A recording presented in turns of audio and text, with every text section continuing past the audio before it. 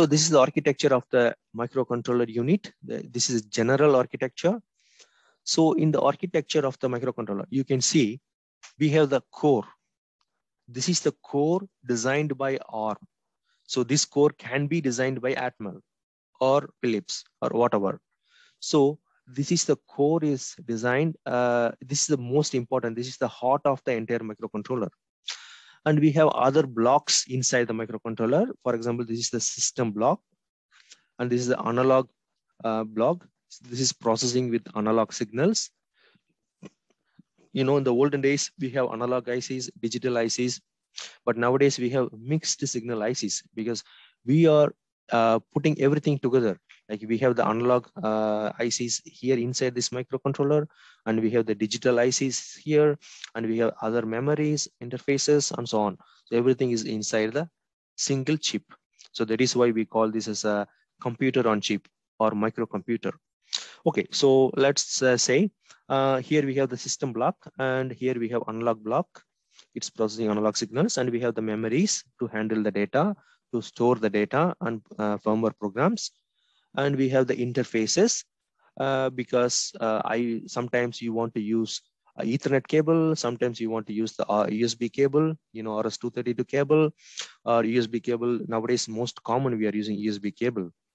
Uh, especially uh, for example when you transfer the pictures from your mobile phone to your computer you are using this usb cable and you want to use the CAN bus or you want to use the SPI, I2C, IDS, uh, whatever. Because as a my microcontroller manufacturer, I should give all the options for you. So you can use whatever the communication mode you want. You can select by yourself. So I have here, for example, USART, that is the transmitter receiver. If you have the wireless communication, for example, or you can use the Ethernet or USB and so on. And you have the other peripherals. So other peripherals means it can be the timers or any other IO peripherals and so on. So now I am one company. For example, I have a company, I am the CEO of the company, ST Microelectronics. So I want to design one microcontroller. So in the microcontroller, I need these many blocks. So I have the core, I have the system, I have analog. If I want to have one more analog, if I, if I want to have one more digital, or if I want to have one more core, it's up to me. So, and I have memory blocks, I have interfaces block and peripherals block. So I, I have to select where I am going to buy the core. I cannot design the core because designing the core itself is a huge job. I need a separate R&D team, research and development team, and developers team.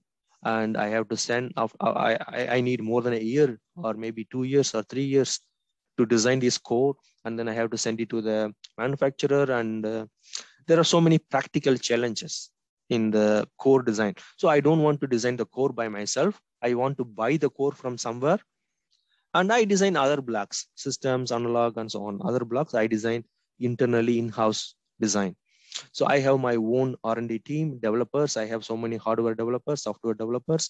Uh, they develop these blocks so I put everything together inside the chip and then I make the connections here and I make the internal communications by using these uh, address buses and data buses. As generally we can call as a system bus. So then I can make the communication. So that's uh, that's the perfect one, right? So I don't need to spend a lot of time uh, to design this core. So I can produce my product very soon or very quickly as fast as possible and I can sell it in the market. You know, if somebody knows I am designing some product, then immediately my competitors will also do some research towards me and they will uh, come up with a similar product or maybe even more improved product. So I have to be very fast in the market. So time to market, there's a term called time to market. This is very important in the companies, in the industries. Okay, this is the general architecture of the uh, microcontroller. So in any microcontroller, we have, this is what we have. We have the core and the other blocks. So ST Microelectronics is the company that is what we are going to study in our course. So this ST Microelectronics, they bought, they bought the core from ARM. ARM is the one actually who designed the core.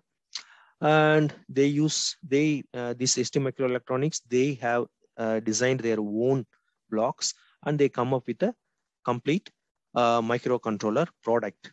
So this is called the STM32 microcontroller. So this STM32 microcontroller, ST means what? ST microelectronics. So this is the company name. 32 is that is the 32 bit the processor size, uh, the data size. So STM32 means STM32. This is the product of the ST microelectronics. Uh, internally, they are using the ARM core.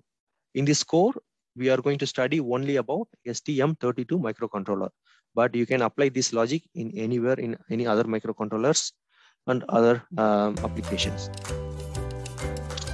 So I think I make it clear uh, the groundwork. This is very important for you before we build further.